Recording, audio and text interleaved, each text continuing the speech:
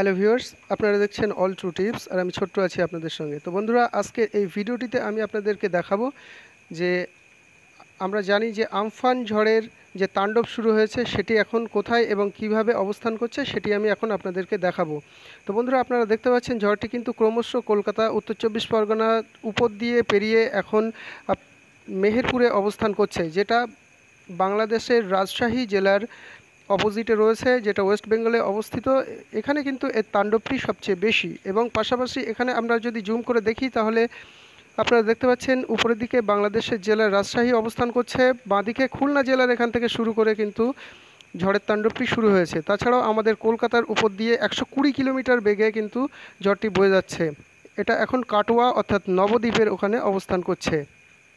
এর আগে যেটা আমরা দেখেছি যে এখানে আমাদের উত্তর চব্বিশ পরগনা এবং দক্ষিণ চব্বিশ পরগনা সহ পূর্ব মেদিনীপুরে এটি একশো ষাট কিলোমিটার পার আওয়ার বেগে কিন্তু এটি প্রবাহিত হয়েছে। যার ফলে প্রচুর পরিমাণে ক্ষয়ক্ষতি হয়েছে। তো এখন আমরা দেখতে পাচ্ছি যে ঝড়টি কিন্তু কাটোয়াতে অবস্থান করছে, যেটা হচ্ছে নবদ্বীপের ওখানে। তাছাড়াও ঝড়টি কিন্তু ক্রমশ বাংলাদেশের উপর দিয়ে এটা নেপালের দিকে প্রবাহিত হওয়ার সম্ভাবনা রয়েছে। যেটা আমরা দেখতে পাচ্ছি, এটা খুবই তাণ্ডবপূর্ণ এবং এটা কিন্তু অনেকটা ঝুঁকিপূর্ণ। সুতরাং আমাদেরকে সাবধানে থাকতে হবে এবং যত সম্ভব পদক্ষেপ নিতে হবে, যার ফলে আমরা কিন্তু সেভে থাকতে পারি। তো আপনারা দেখতে পাচ্ছেন, এখানে কিন্তু খুব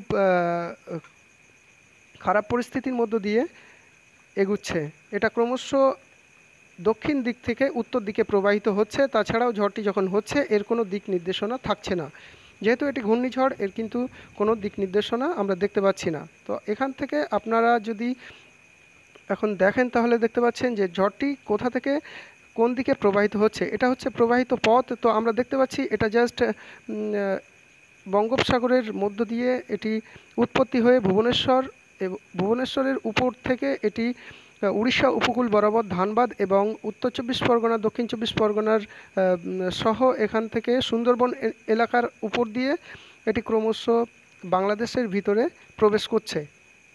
এটাই সম্ভাবনা রয়েছে, তো আপনারা সবাই সতর্ক থাকবেন যতটা সম্ভব এবং নিরাপদ স্থানে অবস্থান করবেন। তো বন্ধুরা, আজকের ভিডিওটি এই পর্যন্ত।